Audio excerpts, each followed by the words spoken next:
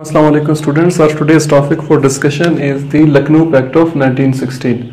The background of this topic Hindus were off- offended by the Britishers because of the right of separate electorate given in Minto Morley reforms of 1909.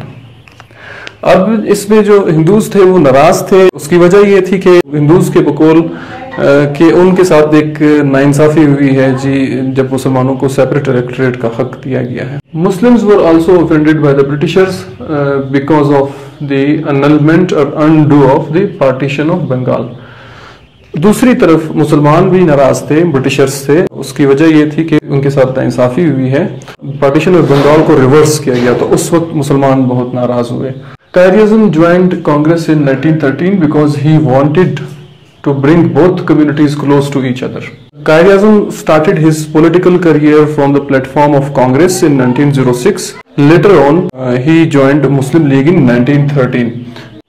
Qadiism suggested to Muslim League to hold the annual session of 1915 in Mumbai, where Congress was also holding its annual session. Qadiism एक मुसलमानों के एक उभरते हुए नए leader थे और उन्होंने मुसलमान और न्यूली उन्होंने ज्वाइन भी किया था उन्होंने मुसलमानों को सजेस्ट किया कि जी आप 1915 का जो एनुअल सेशन है वहाँ रखें जहाँ पर कांग्रेस भी अपना सेशन रख रहे थे reform committee was formed by both the parties for problems in constitutional reforms एक रिफॉर्म कमेटी बनाई गई और उसमें कॉन्स्टिट्यूशनल रिफॉर्म का एक स्कीम बनाया गया कि जी ये ये प्रॉब्लम्स और ये ये कॉन्स्टिट्यूशनल रिफॉर्म्स चाहते हैं मुसलमान और Hindu On 30th December 1916, Muslim League and Congress for the first time hold their joint sessions in Lucknow. Reforms scheme was presented before that session and approved unanimously. Main features of the pact. अब इसके जो नुमाया खसूसियात है वो हम देखेंगे कि इस फैक्ट में क्या जो मुसलमानों ने या हिंदुओं ने जो म्यूचुअली रिफॉर्म कमेटी बनाई थी और उसमें जो स्कीम में बनाया था रिफॉर्म्स का, या मुसलमानों और हिंदुओं के जो मसाइल थे, वो जो पेश किए थे, वो क्या थे और वो चाहते क्या थे, वो हम पढ़ेंगे there shall be self government in India Muslims should be given one third representation in central government दूसरा जो डिमांड था वो वन थर्ड रिप्रेजेंटेशन का था मुसलमानों का सेंट्रल गवर्नमेंट में कि मुसलमानों की नुमाइंदगी हो एक तिहाई वन थर्ड रिप्रेजेंटेशन उनको मिलनी चाहिए।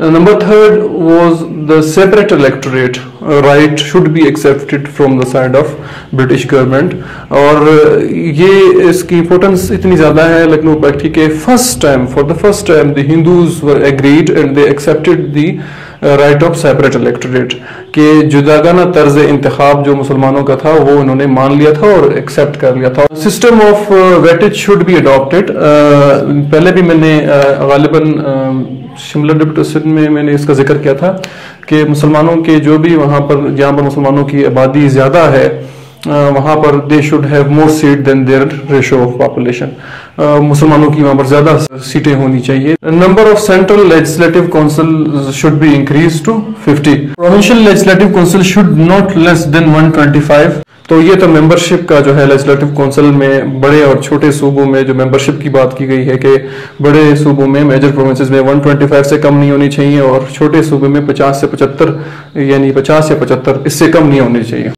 No bill will pass if third fourth member reject that from legislative council आप उसको यूँ समझ लें कि तीन चौथाई से मुराद कि चार लोगों में से अगर तीन लोग उस बिल के खिलाफ वोट दे दें तो वो बिल पास नहीं होगा। Five year terms for legislative council ये फाइव ईयर टर्म्स की बात की गई है। Number nine member of legislative council will elect their president जो लेजिस्लेटिव काउंसिल के मेंबर्स हैं, वो उसका सदर यानी कि मुंतखब करेंगे।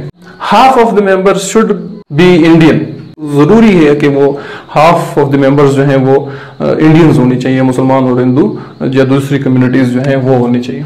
Salary issue the salaries of the secretaries should not be paid from Indian treasury it should be from British treasury secretary of state की जो तनख्वाह है, वो ब्रिटिश ट्रेजरी से अदा होनी चाहिए।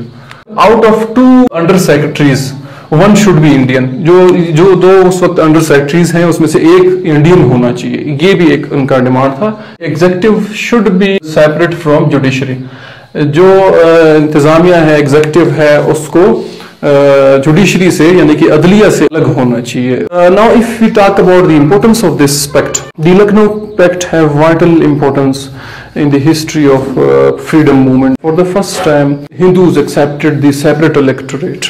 और जो म्यूचुअल अंडरस्टैंडिंग थी वो बड़ी डेवलप हुई और Kairism played vital role bringing both the communities to each other. This Sarojini Naidu, she gave title uh, to the Kairism that the ambassador of Hindu-Muslim unity. It is crystal clear that both the parties, Muslim League and Congress, showed a flexibility for surrendering their demand to have an objective, or you can say to accommodate each other for achieving an objective. Their uh, unity actually resulted that both the parties could sacrifice their demands uh, for having self rule in India.